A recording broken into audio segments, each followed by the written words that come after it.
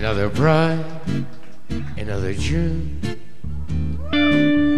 another sunny honeymoon, another reason, another season for making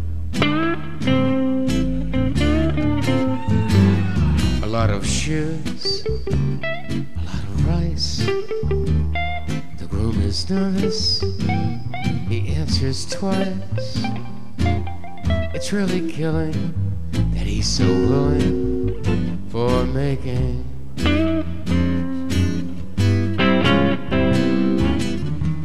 Picture a little love nest down where the roses cling. Picture that same sweet love nest. What a year can bring. He's washing dishes and baby clothes. He's so ambitious, he even sews. So don't forget, folks. That's what you get, folks, for making.